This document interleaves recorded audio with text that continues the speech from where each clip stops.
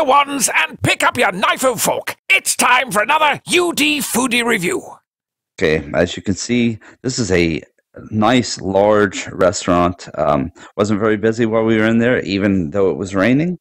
Price wise, it's uh, not too bad. You can actually find better deals in some place within uh, uh, City Walk, but food wise, you couldn't beat it. Um, comfort wise, you couldn't beat it. Everybody was very polite, uh, great service. Uh, we were in and out and enjoyed our time there. Uh, while we were there, Connor actually got the um, the Grand Slam hamburger. That was a uh, twenty dollar hamburger, which is uh, kind of expensive, but this thing is actually pretty large. Uh, that's probably an understatement.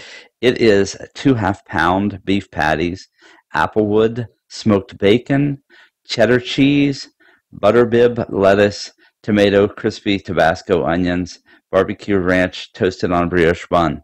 So that was actually Connor can eat quite a bit, and that was pushing it for him to just try to get the through the entire thing. So as I said, that was a twenty dollars sandwich.